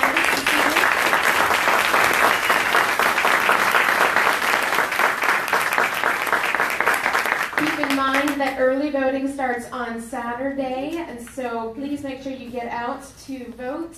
I hope this was informative for you this evening. Before you leave, be sure to grab some root beer or water, or if there's any food left. The garage closes promptly at 9. So if you are parked in the garage and it is 9.01, you're going to come back and get your car tomorrow. Um, make sure you fill out those comment cards if you have any questions that weren't asked tonight. Uh, and please leave your email address with Mary at the information table. As we said, at the beginning of this forum, we did send all of the questions out to the candidates. I've got proof. Um, so we're going to be sending them all of the questions that they didn't answer this evening, your questions as well, and we're going to get some written comment back from them, and we're going to disseminate that out to you. So look for that. Thank you so much. Appreciate it. Thank you. Take care.